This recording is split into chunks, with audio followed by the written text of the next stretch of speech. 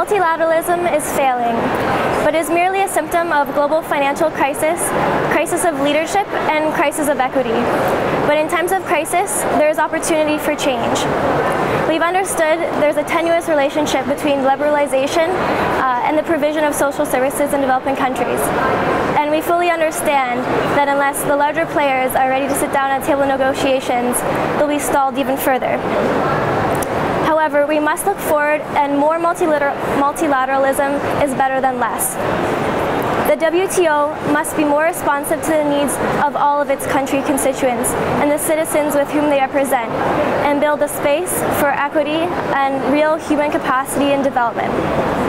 The role of youth is critical, to think and reflect critically on the issues that are at stake an open dialogue, particularly on development, in order to see uh, a less elusive future uh, for sustainable development at the WTO. What I found most concerning um, is the dialogue around plurilateralism um, and the development of a narrative on global value chains. Given as a prescription for development, it represents a further departure for genuine development aims, as there is no room for policy space or consideration of asymmetries with uh, the least developed countries. This contributes to the further destruction of the fabric of multilateralism.